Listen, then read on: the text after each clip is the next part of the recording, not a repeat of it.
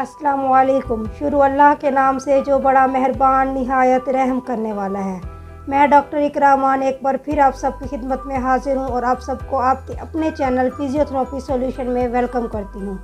Viewers, जैसा कि आप सबको पता है, मैं आपने आजकल गोनियोमीटर का टॉपिक स्टार्ट किया हुआ है। तो गोनियोमीटर क्या है? मैंने इस वीडियो के पार्ट वन में बताया था कि गोनियोमीटर क्या है। और इसके अलावा शोल्डर की गोनियोमेट्री की थी, हमने शोल्डर ज्वाइंट के चंद गोनियोमेट्री के मूवमेंट के बारे में मैंने आपको बताया था, चंद पॉइंट बताए थे शोल्डर के बारे में। और उसके बाद अब हम जो रिमेनिंग शोल्डर की मूवमेंट्स रह गए, उनको भी हम देखते हैं और उसके बाद हम एल्बो की तरफ़ चलते हैं कि एल्बो की गोनियोमेट्री कैसे परफॉर्म की जाती है, कैसे होती है एल्बो जॉइंट की।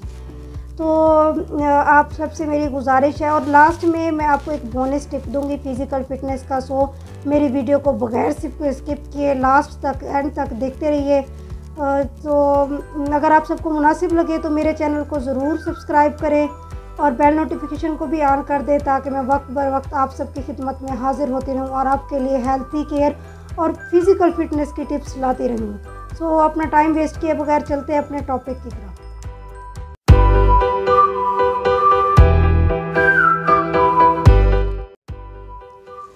व्यूवर अब हम चलते हैं कि शोल्डर की एक्सटर्नल रोटेशन कैसे होते हैं। मैंने शोल्डर बयान पे आपको मूवमेंट बताई थी कि फ्लैक्शन होती है एक्सटेंशन होती है। नंबर थ्री पे उसकी एबडक्शन होती है एडक्शन होती है। इसके बाद इंटरनल रोटेशन एक्सटर्नल रोटेशन यानी कि टोटल सिक्स मूवमेंट है जो शोल्डर ज्वाइंट पे होती हैं। तो अब शोल्डर की एक्सटर्नल रोटेशन कैसे होती है? शोल्डर की ये एक्सटर्नल रोटेशन है और ये इंटरनल रोटेशन है। अब एक्सटर्नल रोटेशन ये है तो हम इसकी गोनोमीट्री कैसे परफॉर्म करेंगे? तो सबसे पहले हमें रेंज का पता होना चाहिए कि शोल्डर की एक्सटर्नल रोटेशन की रेंज ऑफ़ मोशन क्या है। उसका क्या एंगल उसका एंगल है zero to one eight zero to one sixty degree zero to sixty degree sorry zero to sixty degree angle है रेंज ऑफ़ मोशन है, और उसके बाद इसमें कौन कौन से मसल इन्वॉल्व हैं? इसमें इंफ्रास्पाइनेटस मसल इन्वॉल्व है और ट्रीज़ माइनर ट्रीज़ माइनर याद देखिए ट्रीज़ मेजर है ट्रीज़ माइनर मसल और इसमें पेशेंट की पोजीशन क्या होगी? इसमें पेशेंट की पोजीशन होगी स्पाइन लाइन यानी कि वो सीधा लेटा होगा। उसके बाद इसमें जो थेरापिस्ट की पोजीशन है, वो तो टेस्ट साइड की तरफ़ होगी जहाँ जिस साइड पे टेस्ट करना होगा। इसके बाद इसमें हमने देखा पेशेंट को कमांड क्या करनी है। हमने अपने पेशेंट को कमांड करने के मूव टू हर या मूव टू हिज हैंड या आर्म आउटवर्ड बाहर की तरफ़ अपनी आर्म को मूव करवाएँ। बाहर की तरफ़, यानी है इस तरफ़ मूव कराएँ तो फिर इसके बाद हम देखें कि अब गोनेमीटर का हमने फलक्रम कहाँ प्लेस करना है, हमने इसकी स्टेशनरी आर्म कहाँ प्लेस करना है, हमने इसकी मूवेबल आर्म कहाँ प्लेस करनी है। अब जो इसका फलक्रम है, हमने वो प्लेस करना है ओली क्रेनल प्रोसेस पे। ये है हमारा ओली क्रेनल प्रोसेस यहाँ पे हमने फलक्रम प्लेस करना है। अब देखिए ये मूव यहाँ पे हमने अपना फलक्रम प्लेस करना है। आप जो यहाँ पे हमारा फलक्रम है, फलक्रम प्लेस कर दे। इसके बाद हमें अपने स्टेशनरी और मूवेबल आर्म को कहाँ करना है? स्टेशनरी आर्म हमारी जो होगी वो होगी वर्टिकल इस तरह से वर्टिकल और जो हमारी मूवेबल आर्म है वो कहाँ होगी? मूवेबल आर्म हमारी जाएगी हमारे अल, अल, हमारे अल्लर स्टीलाइट प्रोसेस की तरफ़। ये हमारी अल्ना की बोन है ये वाली। तो इसके स्टीलाइट प्रोसेस की तरफ़ जाएगी हमारी ये देखें ये वाली हमारी जो है वो ये देखें यहाँ पर। ये देखें, थोड़ी मेरी पोजीशन सही नहीं है क्लॉथ की रिस्ट्रिक्शन आ रही है, इस वजह से रेंज का मसला पड़ रहा है। ये देखें, ये वर्टिकल है।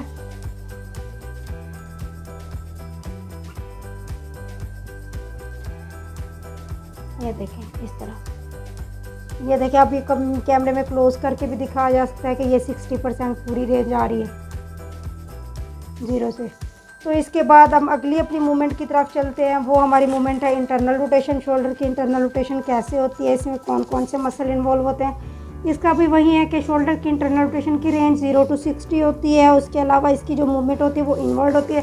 अब पहले आउटवर्ड थी, अब इन्वर्ड हो जाएगी इस तरीके से। और उसके बाद उसके अंदर जो सॉरी जो शोल्डर की वो है ना इंटरनल रोटेशन की रेंज होती है ज़ीरो टू एट्टी और उसके बाद जिसमें मसल होते हैं ना, वो होता है सबस्केपुलरस और पैक्ट पैक्ट मेजर और लेटिसमस टार्साई पेशेंट की पोजीशन इसमें स्पाइन लाइन वहीं वो सीधा लेटा होता है। थेरापिस्ट की पोजीशन टेस्ट साइड पे होगी।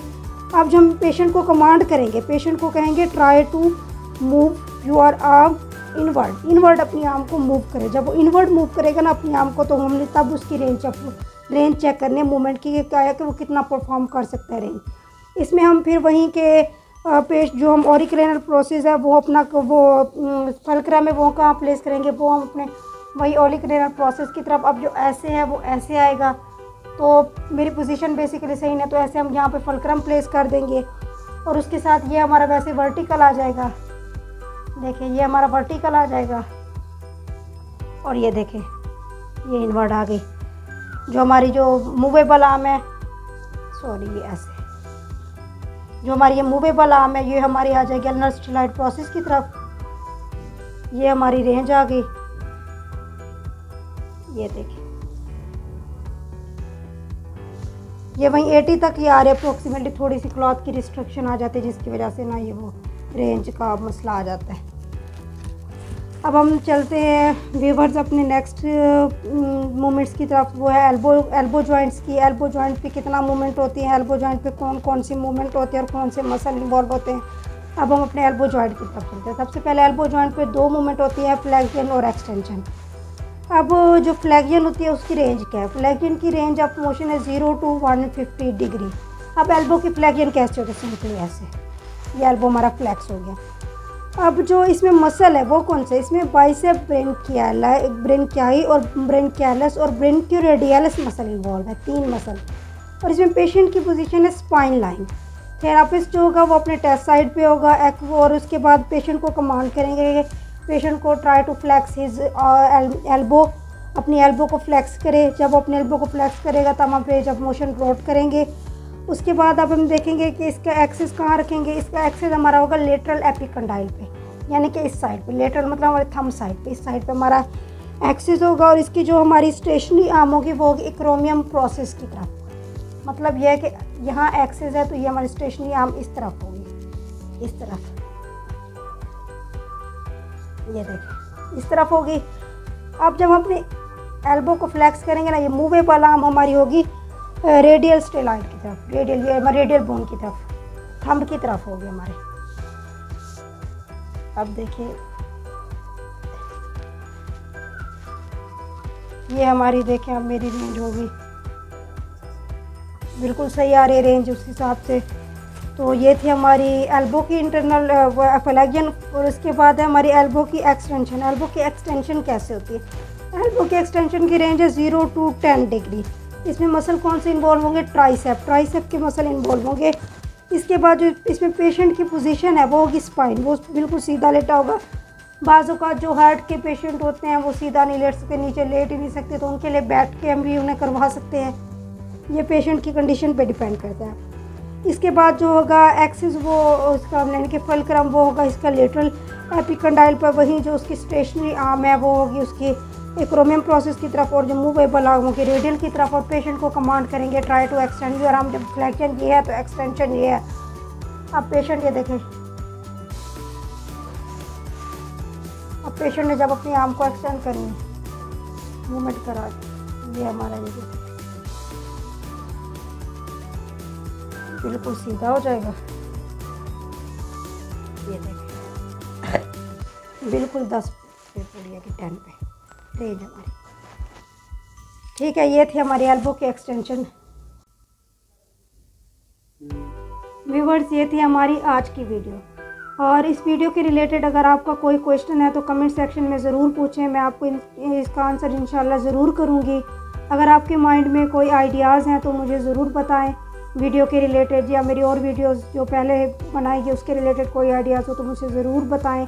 और उसके बाद मेरे एक रिस्पेक्टेड सर हैं जिन्होंने मुझे बोला कि नेक ड्रॉप और नेक बेंडिंग के बारे में बताएँ। तो आप उनका कमेंट दोबारा स्क्रीन पर भी देख सकते हैं कि इन जो हमारा आने वाला नया टॉपिक होगा गोनियोमेट्री के बाद वो होगा नेक बेंडिंग और नेक ड्रॉप क्या होती है और उसकी एक्सरसाइजेस क्या होती हैं। हम उसकी तरफ़ चलेंगे। तो अगर आपको मेरी मेहनत और मेरी लगन अच्छी लगे तो मुनासिब लगे आप मेरी वीडियो को लाइक ज़रूर करें। अगर आप चाहते हैं कि आपके इर्द गिर्द का माहौल खुशगवार और सेहतमंद रहे तो इस वीडियो को सदका जारिया समझ कर आगे ज़रूर शेयर करें। सो अब हम इंशाल्लाह अपनी नेक्स्ट वीडियो के साथ मिलेंगे। आप अपने बोनस टिप को देखें।